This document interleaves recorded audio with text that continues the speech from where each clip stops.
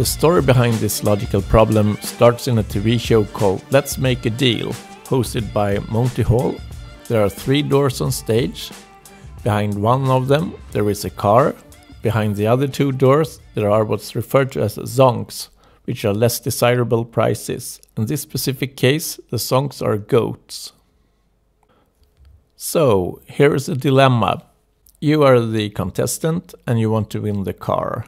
Monty asks you to pick one of three doors. You pick door number one. Monty then opens door number three and shows you a goat. We know that he always opens a zonk, never the car. He then asks you if you want to stick with your door number one or switch to door number two. What is the correct decision here?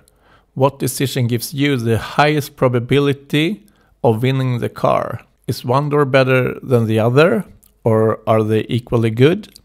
Pause the video here if you want to solve it on your own, or keep playing for the solution. Is your answer that it's uh, a 50 50 probability whether you switch door or not? Then you're not done thinking. You shall switch doors every time. That will double your probability of winning and give you a two third probability instead of a one third probability. When you initially pick one door, you have a one third probability that you choose the car. There is a two third probability that the car is in one of the two other doors. The car is still inside the two third probability zone. The only thing that has left the zone is the goat, because we know that Monty always eliminates zonks, never cars. Looking at it this way, you can see that if you stick to your first door, you have a one third probability of winning the car, and if you switch door, you have a two third probability of winning the car. Not convinced? We can look at this with bigger numbers. Let's say Monty has a hundred doors. You pick door number 100. This is a 1% chance that you pick the car. Monty then opens 98 doors, all the doors except door number 25. He then asks you if you want to stick with your choice or if you want to switch door. The numbers might seem a bit more obvious when you look at it this way. Still not convinced? The solution is very debated and the debate started in 1990.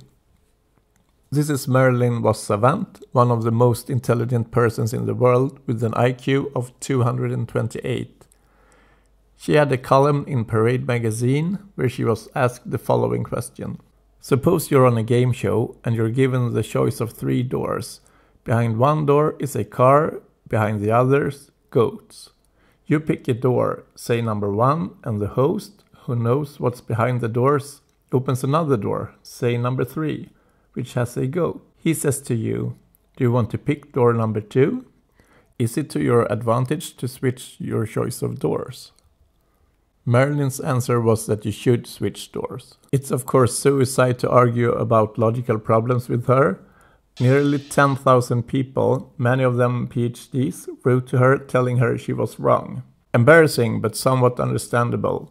This problem is a paradox of the veridical type, because the correct choice that you should switch doors is so counterintuitive. Marilyn expounded her reasoning in a follow up and called on school teachers to show the problem in classes. In her final column on the problem, she gave the result of more than 1,000 school experiments. Most respondents now agree with her original solution, with half of the published letters declaring their authors had changed their minds. If you are still not convinced, Check out my upcoming next video where I will simulate this 1 million times on a computer. You don't want to miss that. Make sure to hit that subscribe button and the bell so you will get notified when my computer simulation is published. Subscribe!